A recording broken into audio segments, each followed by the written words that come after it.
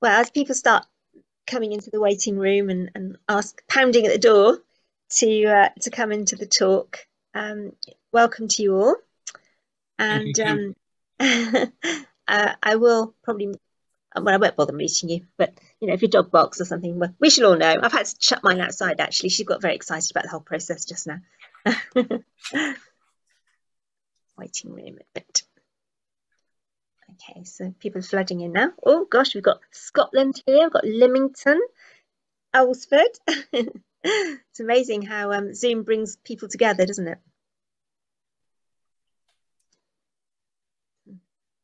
Okay. Um, well, we were going to have some lovely videos today, but uh, Zoom has decided not to allow me to, to actually run them. I might have a little go and go onto YouTube and see if I can do them directly, but uh, otherwise we'll just use the, uh, the photographs that I've got on this uh, presentation and also the lovely photographs that Godfrey has uh, very kindly donated. Um, and uh, for those of you that don't know, Godfrey is uh, a mine of historical information who lives in Alresford and he's got this amazing collection of old photographs of Alresford so that's particularly useful for us today. Okay, so I'm still madly trying trying to let people in the room here. so um, while we're um, waiting for the uh, people to come in then I will just uh, change the first slide. Let me do that. There we go. Um, and uh, I wonder if uh, Godfrey will know about this because it's his photograph, but some of you may be interested or, or, or uh, amused by the, uh, the fact that in the olden days of farming watercress, that the, uh, I hope I'm right on this, I'm sure Godfrey will correct me, um, that the workers were given a, a fingernail check to make sure that they weren't um, actually adding any substances to the, the, the watercress production other than the, the, the, rivers were bringing or that were in the watercress beds. I thought it was particularly apt for today with, with the present pandemic. Okay, so I think we'll get started now because we're five minutes in. Um, okay, so uh, I will ask uh, Julie, who's helping on behalf of the Watercress Festival. If she sees anybody else in the waiting room and I don't spot it, then um, perhaps she can uh, use the chat box or wave to me or do something anyway. Cool. So um, let's get started then. Uh, for the uh, benefit of those who have just come into the presentation, it's uh, very kind that uh, the Watercress Festival team have allowed my charity to which I'm trustee called the Watercress Way to actually do this talk for you. And it will be run similarly to the ones that we actually do live, where we take groups of people around Alresford looking at various aspects to do with the town, uh, obviously with a, a watercress flavour, particularly in, in this uh, particular uh, venue today. Right, so um, just for a little bit of background, I've just put the Watercress Way trail up for you, um, which has basically um, three distinct sections. It's an unusual trail and it uh, links up two of the old railway lines, the Watercress line that we'll be talking about a lot today, and also the uh, Didcot, Newbury, Southampton um, line, which uh, went from uh, on the, the western side of the trail uh, that's like uh, number two on the uh, map there. And then we've linked the two old railway lines with uh, historic droves and other roads and footpaths, bridleways to make a circular trail. So it is a unique type of trail and uh, we've been going really since 2015, but we were incorporated as a charity in 2016. And the whole trail is way marked for walkers. So we'll today see some uh, of the uh, the trail around Alresford, and you don't have to do the whole trail.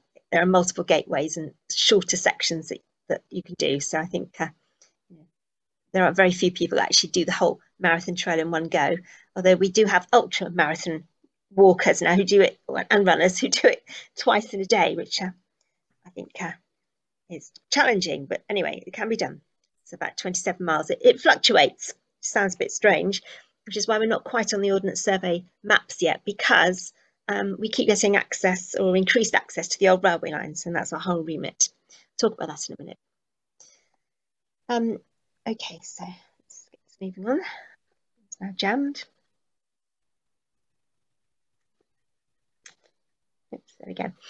So we've just uh, decided to improve our branding. So you'll see a distinctive yellow and uh, green uh, brand colours in all our documents from now on.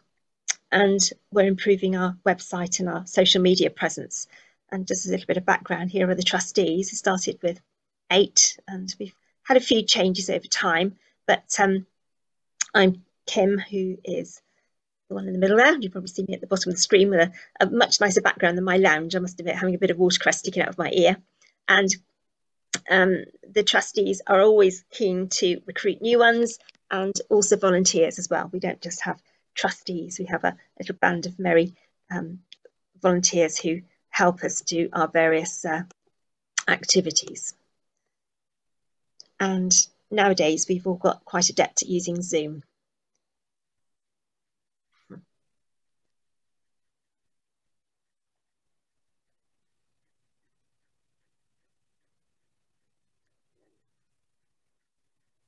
Okay, distinct problems getting this PowerPoint to um, work. So here we go. People often get the watercress line and the watercress way confused. So I just made these two simple images here. Uh, the watercress line is a separate charity and it was established after the the original watercress line was ripped out after Beeching cuts and volunteers then gradually opened up the 10 mile section east from Alresford. And nowadays, the uh, heritage trains are a common feature and have now hit the headlines nationally because of government grants during the, uh, the COVID times. But the Watercress Way is for the parts of the Watercress line that were never reopened. And as I say, it's a, a, an unusual trail because it's a very it's a long it isn't quite long distance. I think you have to be 28 miles to be long distance, but we're, we're almost there at 27 miles. And um, it, it was actually named because watercress is a feature of the whole of the trail, not just around Alresford. So wherever you go around the trail, um, you'll see either working or uh, abandoned watercress farms. And um, it includes, as it says there, the lost seven miles, from Alresford through to towards Winchester, gets as far as Kingsworthy, and um, then the, the Didcot Newbury railway line.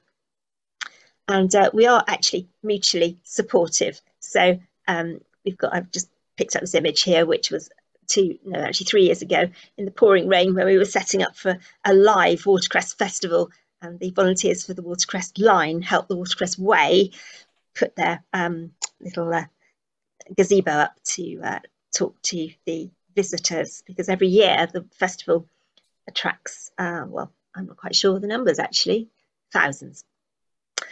So um, let's start off with having a look at uh, the watercress. And if you look at the, uh, the Ordnance Survey map here, and we have actually got a license for this now from the uh, Ordnance Survey, so thanks to them, um, you can actually probably spot a couple of signs that actually say watercress beds, but I've just ringed the actual watercress farms which are around Alresford. And you'll see some of them in dots. That means that they are abandoned. Um, the one on the extreme east, uh, where uh, I've got my cursor at the moment, is uh, the most recent one. And the tour we're going to do today is outlined in red. And it uh, is about two, two and a half miles um, it would take, you know, just about an hour and a half if you walked around it very quickly, if that. But of course, normally guided tours take a bit long, longer than that because uh, of the interesting points that one can see on the way around. So that's what I want to point out with to you today. And um, we'll have a look at particularly the watercress with the link to the watercress line, but there will be some other snippets of history thrown in as well. Not everything, because Alresford is an amazing place for um, uh, history and heritage and being obvious in your face. It's very easy to spot things as you go around. Okay, so if we just go on.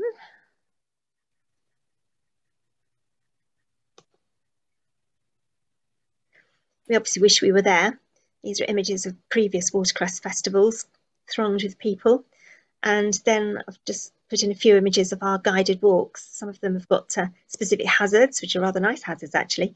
I'm actually gui guiding a tour this Saturday and the risk assessment, apart from three pages on COVID, had half a page on swans. So, you know, it, you have to plan these things.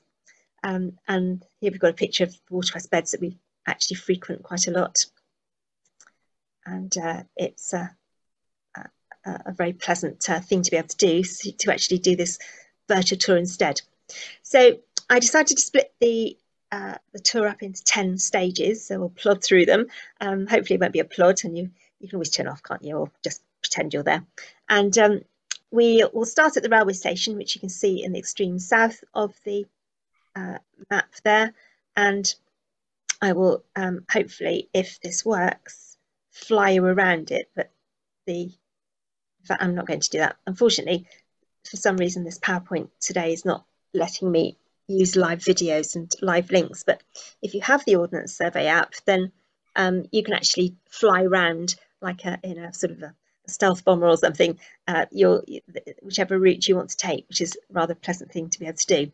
So I'm afraid the uh, next best thing I can do is just to show you a, a uh, um, an image of from the satellite.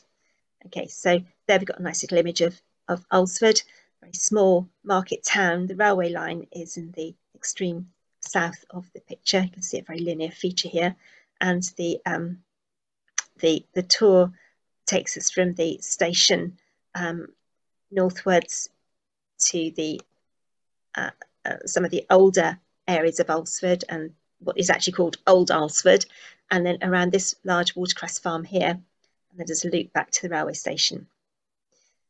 Right, so we'll start off at uh, what I've called Pride and Prejudice because actually the guy who really kick-started the whole of the watercress history off by creating the watercress line was um, the nephew of Jane Austen, um, Edward Knight, rather distinguished gentleman there with his handlebar um, moustache.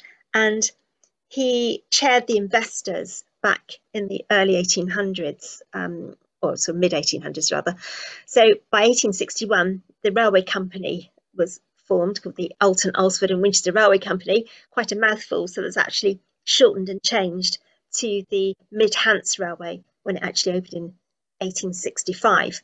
it was all part of this railway mania where there were all these competing railway companies trying to get a look in on the um, the, the growing prosperity during Victorian times.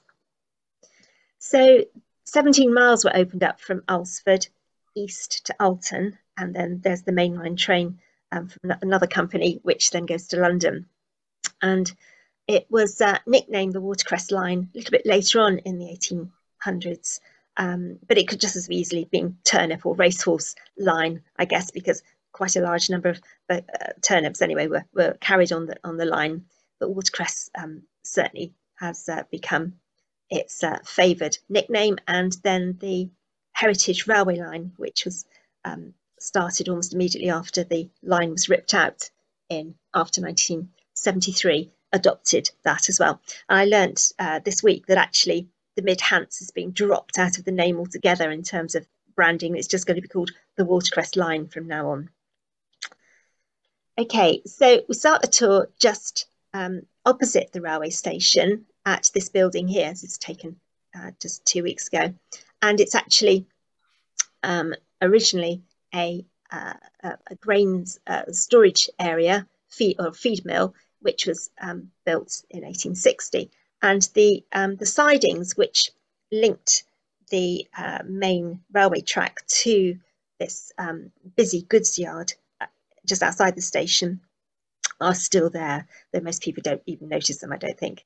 And uh, thanks to Godfrey for this fantastic picture of um, the local farmers actually unloading watercress onto one of the um, the old uh, carriages um, which uh, would get to go on the railway line.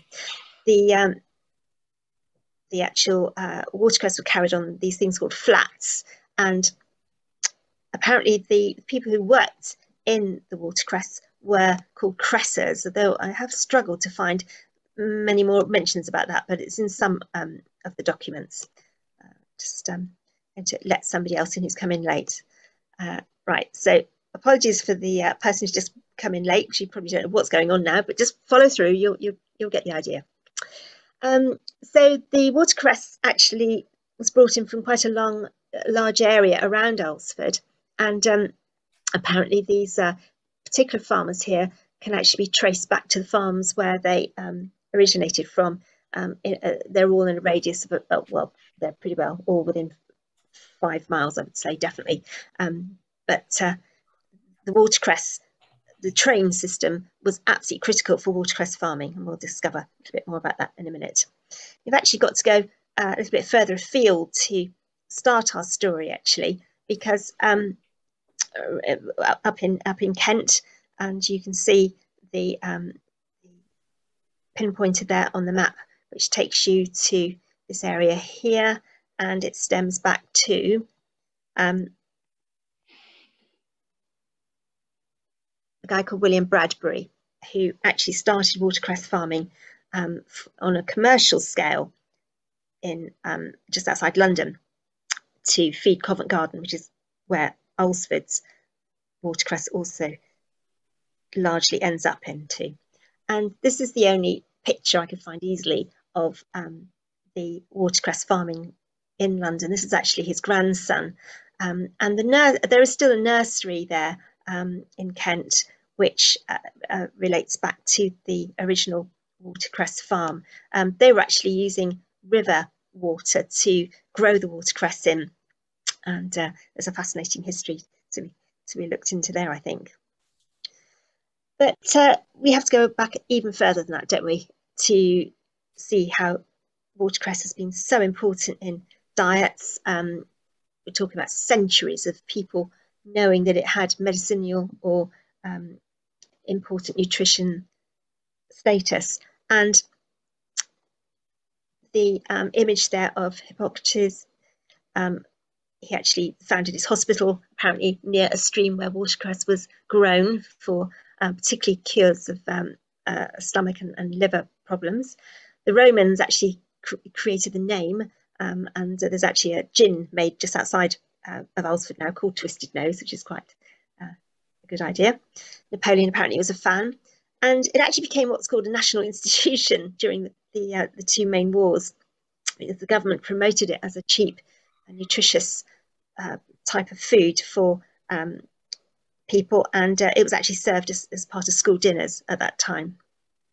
But by the 1940s, um, it, it, started to dwindle uh, after the 1940s, so that um, by the start of the 20th century, really, uh, sorry, the end of the 20th century, there were very few watercress farms um, and acreage across the whole of Britain. And it wasn't really until about 2003 that uh, there was a huge rebranding campaign by the uh, sort of uh, group of watercress farms, which um, uh, had a, an attractive little uh, uh, slogan there. And then, of course, a little bit closer to us, we have Ramsay, etc., and many, many other celebrities who've actually um, used watercress as part of their um, activities and uh, rebranded it as a, another superfood of the 21st century.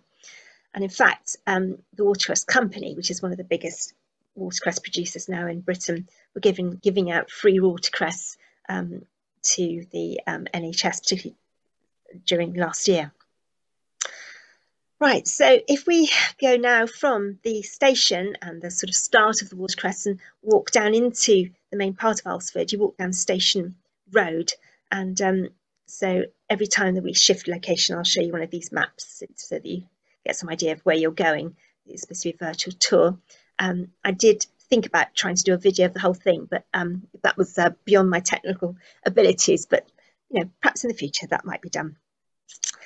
Um, so Station Road, then that's got a history all of its own. Let's see if we can have a look at it. And uh, you've got a nice aerial view here of um, the whole of Alresford. This is actually looking um, towards the church. This is actually looking um, south, really. You can just about see the railway line um, in the mid to far distance. I've labelled where the railway station is. Station Road is the um, first red oblong that you can see on the map.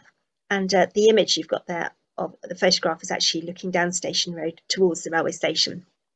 But it, it wasn't a, a road originally. It was um, actually one of these things, these things called a burgage plot. And we're going to have a look at that particular aspect of Alresford's history. That image is actually taken during one of the watercress festivals in the past with people thronging the what's known as the Broad Street, and we'll be walking down that on our virtual tour in just a minute. So Alresford is uh, an unusual little town because um, it actually retains a large proportion of its town planning system from the 11th and 12th century, just on the cusp of the, the two centuries there, where two different bishops created what was called New Alresford then. So it's still called New Alresford, although it is actually um, rather ancient. And um, the, the actual layout of the, of the town was um, on a long linear plot um, got some information there about um, how many rods and perches um, it was. So in, in Alresford, there was a, a 33 by 330 foot plot, and it was a very clever way of maximising the frontage of buildings whilst giving privacy. You can see that in many um, towns. I, you've noticed it, you know, when, when you go to places like, oh, just Marrakesh, for example, you can see it, and um, you can see it in um, many other cities in Britain, although um, most places in Britain have lost their burgage plots because of um, infilling or densification of the town centres over time.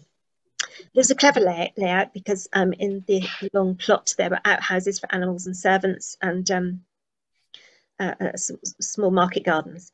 And as we walk down and have a look at um, the Broad Street in just a minute, um, there are glimpses of these burgage plots behind the, the houses there. Right, so um, we're going down now into Broad Street itself, which uh, is just a little bit further um, north from the, the railway station. And we'll start off with Painted Ladies. We just have some video clips, but unfortunately we can't see those. Um, so again, thanks Godfrey for this uh, nice picture. This is just on the um, the junction of Broad Street and um, the uh, uh, West and East Street, which had different names in the past called um, Sheepcote or Sheepcot Road and Ram Alley. East and West Street sound very boring compared to those two, don't they? But Alresford was based on um, sheep uh, uh, and the marketing of them. And um, here we've got an image again. The um, I think this is just at the start of the 1900s um, of Alresford with the broad street there. But trees haven't been a feature of the, the high street always. They're, they're uh, sort of more of a, a, a recent feature. Um, but uh, the, the current image of Alresford Broad Street is somewhat, somewhat different. It's uh, quite difficult to actually find an image without cars in it now, although that might change in the future, I think, because there's increased pedestrianisation threatened for, to, to Alresford, which will bring it back to perhaps um, a little bit more of its original um, uh, looks. And um, I've chosen some pictures to um, illustrate the beautiful, what we call painted ladies of the Broad Street. And they are uh, fantastic Georgian buildings, but mainly on these Norman routes, the, the original burgage plot routes. Um, there aren't any Norman houses left, obviously, because of fire after fire after fire. And it wasn't until Georgian times when tiled routes came into play that um, fires started to reduce in their importance in, in. And as you walk down um, Broad Street, you go past lots of different um, in, interesting buildings and links to other aspects of the past. So, for example, uh, a famous bookshop here has actually got a, a spy link to um, one of the places in Station Road, the actual public conveniences. I always get strange looks when I go in the, well, I don't actually go in the gentlemen's toilets to investigate where the dead uh, letter drop was. I always send somebody else inform me. But um, it, there is a plaque on the toilets actually explaining the link between um, the, uh, the, the spies who, who took some of the secrets of the Dreadnought submarine back in the 1960s and were caught eventually. but Alresford's got a, an interesting uh, link with this uh, spy chain. But there are all sorts of other aspects of Alresford too. You go past a 19th century poet's house, you go past a very bright blue house, which you can just see in the bottom photograph there, which is the old post office. Um, there have been several locations for post offices in Alresford, and um, this one in particular, you can just imagine the, um, the sort of um, the, the, horns blowing as the uh, heralding the arrival of the post chaise with the um, the letters in back in the 1800s. It seemed quite exciting. And um, as you walk down Broad Street, there are other lovely houses. There's a, blacksmith there, um, one of many of the past, and there's a house where the headquarters of the USA um, um, troops were stationed during the second the uh, Second World War. Hambone um, is a, a, dog who is buried uh, in uh, another part of Alresford, which uh, is, is a, a lovely walk on all by itself, and we'll we'll have a look at that in a minute. And uh, we actually find this house called Pineapple House, and unfortunately, I didn't quite get on the photograph the beautiful pineapple shapes that you've got on top of the house, um, which were uh, traditional to show the wealth of a house during the early part of the 18th century. Well named. So going down Broad Street, um, you, it merges into Mill Lane. I've called it a mini Marrakesh because it was actually incredibly famous for its tanneries. And um, I'll just put all the, the, images on here so you can see them all.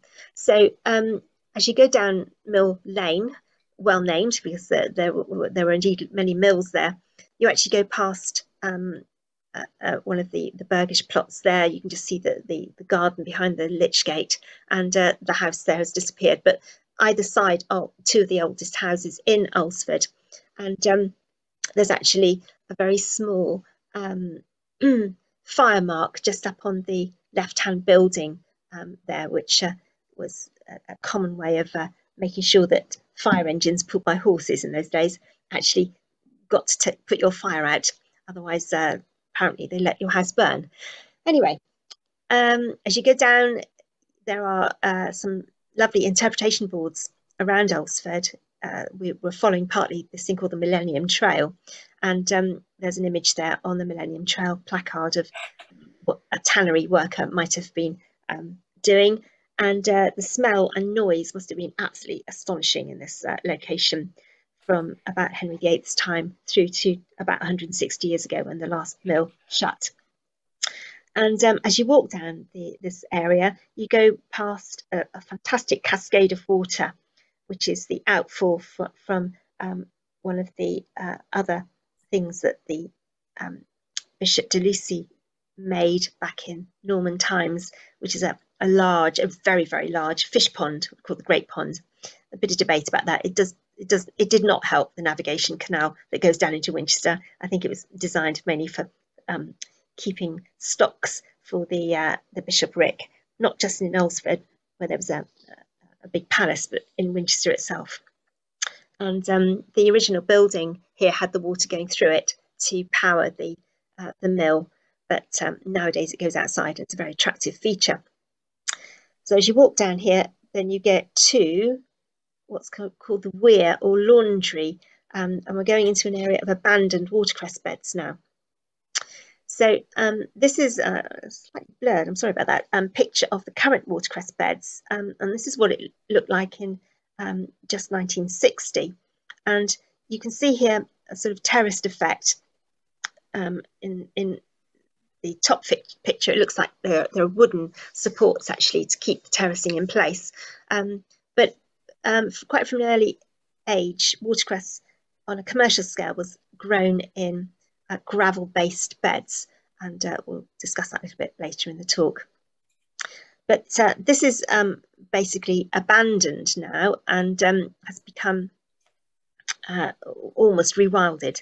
So the timeline you've got on the screen, um, basically this is the River Arle, which is a tributary of the Itchen, um, had a series of fen meadows. Then the during Norman times it was ponded up, and then um, watercress beds were created. I think these ones actually only date back to about 1950. Some of the other watercress beds around Alresford obviously date back to the late 1800s. And uh, locals actually, until quite recently, used this honesty box um, which was placed just outside one of the buildings, uh, just out of view on, on these two main photographs.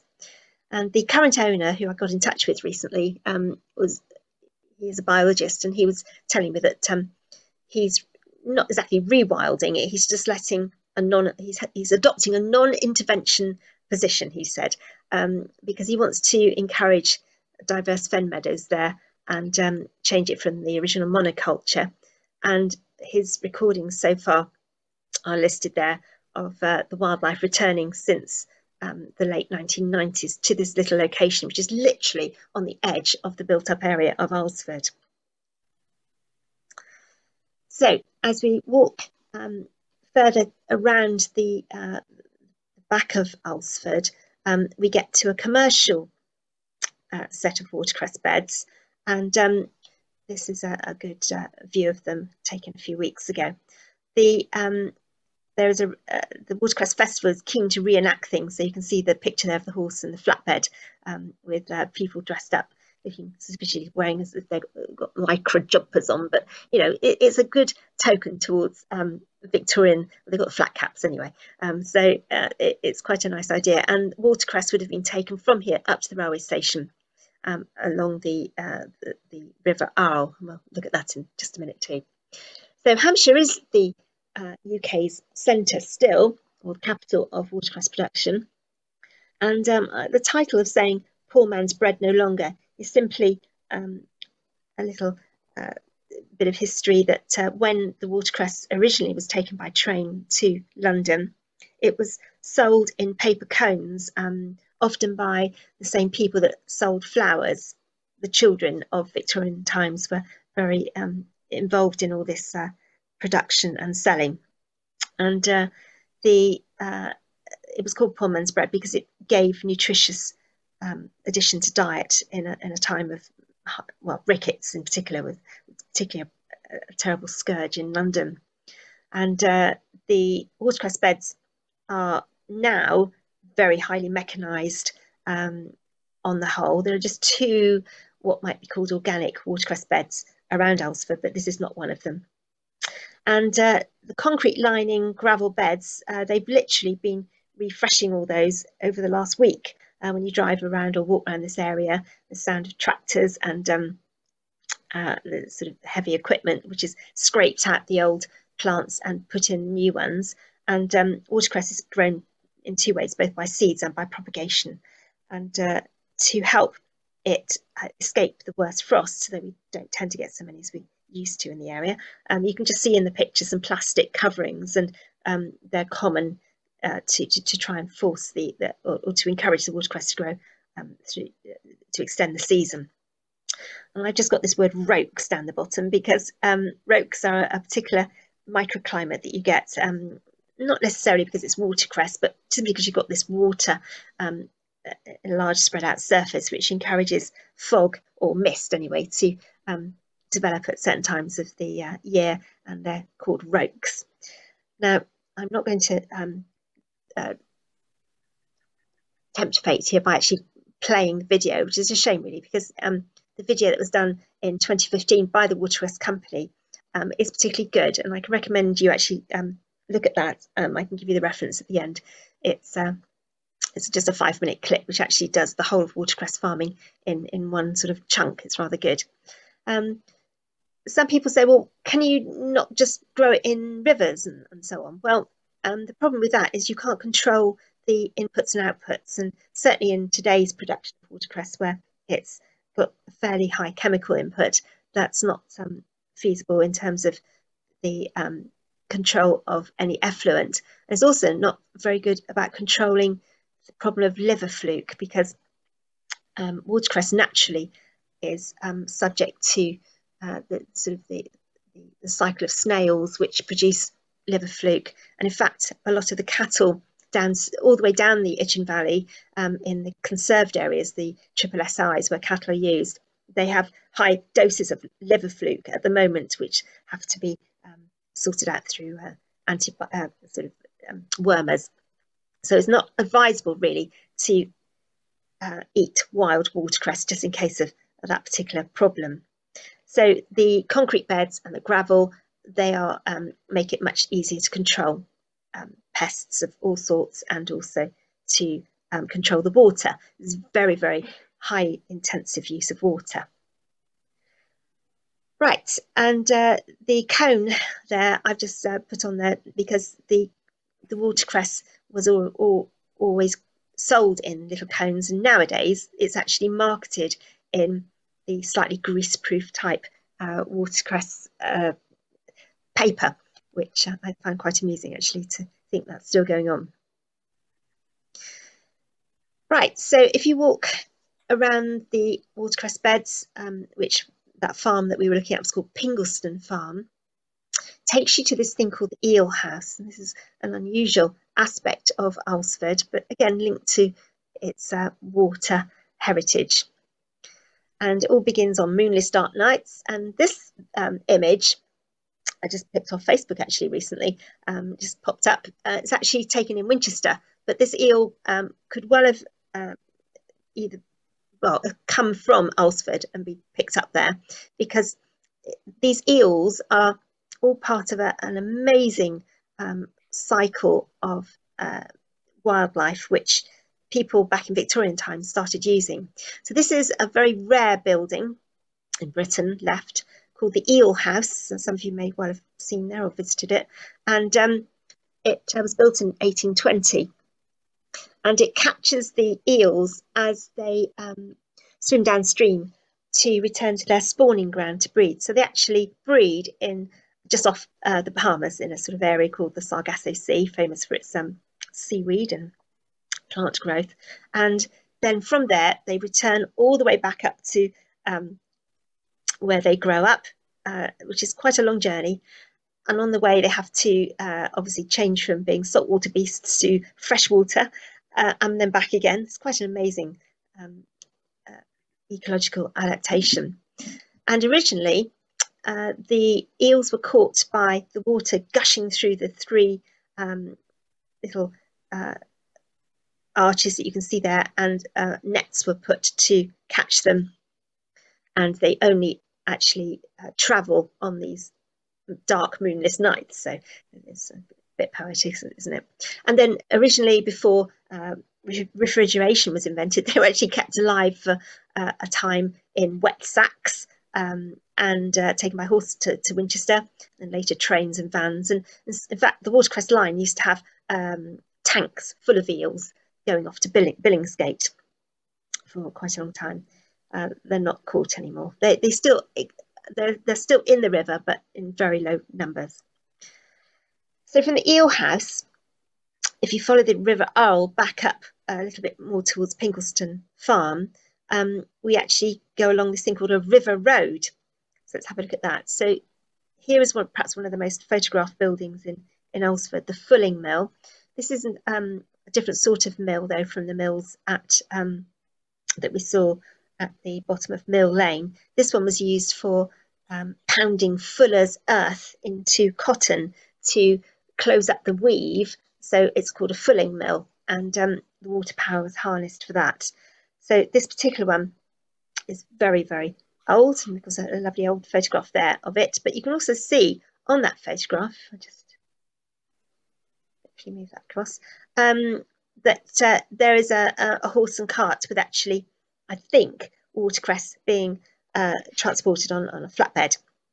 He's, he or she, presumably it's a he, um, is uh, actually driving that horse up what's called Pingleston Road. Um, it, it, was designated a road until quite recently, but um, is now the bed of the River Arle. And he's come out of the ford just in front of the fulling mill to go up to the railway station. A fantastic uh, place to go and visit. And uh, the um, it's now a very, very famous uh, tourist spot. And we can't stop this uh, or finish this talk without talking a little bit about Amy very quickly. Um, she's one of the local celebrities, and her and her father uh, are instrumental in, in changing the feeding habits of the the ducks, swans, coots, and I'm afraid fish now because the fish, the grayling and the trout are, are getting in on the act as well. But they um, provide proper uh, food for wildfowl, which um, doesn't affect their wing growth and, and affect their growth generally. So people then give a donation and little tables being set up there and it's become quite a local celebrity spot, which uh, is a fantastic place to see the wildlife. Right, so um, backtracking a little bit, we come from the, um, the eel house and the fulling mill, um, heading back towards the railway station to this road called the Dean. And I've called it the Long Haul because it is gently sloping uphill, and then there is quite a, a steep incline back up to the railway station. And this is actually um, one of the many pubs, apparently 24 or even 25 pubs, I was told the other day, that uh, were in operation in Alresford just at the end of the um, 1800s, and it's called the Dean. And this is what it looks like today. It's a private house. Um, whether the uh, Cressers had time to to stop, uh, I, I, can't imagine because they would have had to have got to the station very, very early um, in the morning to catch the trains, or perhaps late in the evenings to get the watercress in London by the next day. But uh, it's a nice idea that perhaps they might have stopped there. And uh, now only five pubs survive in Alresford. But it's a fantastic thing just to walk around this little town to spot where all the old pubs are. And this photograph that's come up now is um, now approaching the station. You may be able to pick out in the image some carriages on the top of the bridge. It's called Jacqueline's Bridge.